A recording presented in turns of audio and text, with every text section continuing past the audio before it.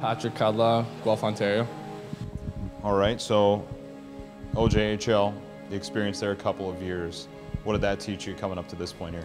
Uh, I played with a lot of good players going through the system there and uh, learned a lot of good things. Uh, I mean, play with, like I said, play with a lot of good players, and I mean, you learn a lot from guys like that, not only on the ice but off the ice. What kind of player are you? Uh, I like to think of myself as a puck moving defenseman. Um, little shaky in the D zone when I started, but I like to think that I'm kind of making it to an all around game. You're a guy that put up a ton of points in the last couple of years, highest scoring defenseman in the uh, OJ.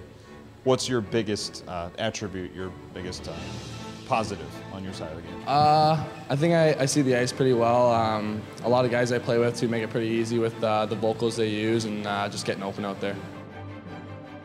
Patrick Kudla, I mean, he's played junior hockey for three seasons already, you know, and he's done it in, you know, in a good league, put up a lot of points. Uh, and like you said, he's a leader. Like, he goes out on the ice and he wants to be a leader. He talks to his teammates. He, uh, he plays with the, you know, with a chip on his shoulder. Uh, he's been really good. I mean, he's been what we expected.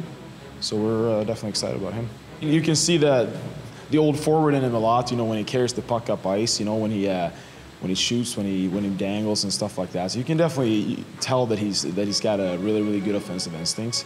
Uh, with that being said, you know he's he's also working on his defensive game. It's something we're going to work on here too. We have a good coaching staff that's going to be able to to help him out with that part of his game. But yeah, I mean I'm sure it's been a transition for him, but it's it's looking like it's really good. I mean the guy's playing defense for two seasons, and it's it's pretty impressive to see where he's, where he's at.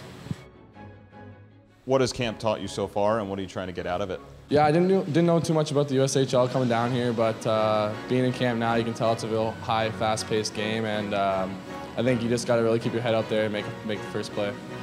What was your reaction when you heard that you were drafted, and where were you when it happened? Uh, I think I was just sitting at home uh, with my family.